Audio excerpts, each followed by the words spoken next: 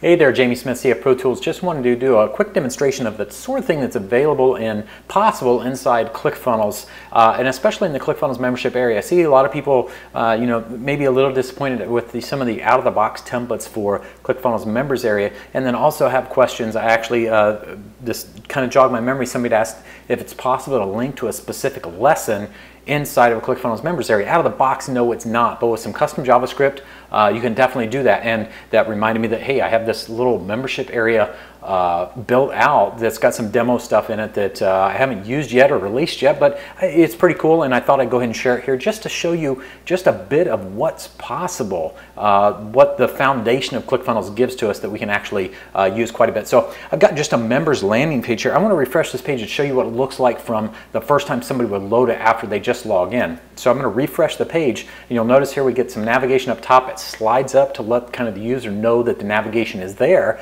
We got this big show nav button. Uh, definitely could pretty this up, could make it a small link, could make it a graphic, could do any sort of thing with it. But I just built, uh, you know, build it quickly with just a button. So if we click the button, then we get this lesson navigation. These could be to sections, section one, section two, section three. They could be specific, specific lessons, lesson one, two, three, four, five, six, as we see here. And what we can do is actually click on any one of these lessons and it will take us specifically to that lesson on the page and then slide up the navigation. So it's kind of a, you know, a unique approach. Uh, usually the, the two um, kind of layouts that come with members nav uh, or with the members area inside of ClickFunnels now are the navigation on the left or on the right. Uh, this kind of gives you a kind of full screen way to have that navigation. So we've also got our previous and next buttons in here so we can actually click and go to the previous button, uh, previous lesson, next lesson. You can use these to scroll back and forth. Supports the different lesson types.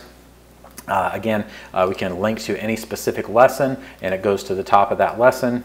So it's just kind of, uh, you know, quick demonstration of what's possible with the ClickFunnels members area. We can actually do a ton of things and we can look uh, any way we want to. And these could be basic links. This could be a drop-down navigation if you wanted to do that with uh, just text links to specific lessons. These are actually just placeholder images. So they could be any image that you want it to be. So if you wanted to have, say, a video thumbnail uh, that showed here that kind of gave somebody an idea of what that video was about, even with a little bit of text below it, uh, this is a simple uh, two three column blocks stacked on top of each other. So you can put any content in there that you want.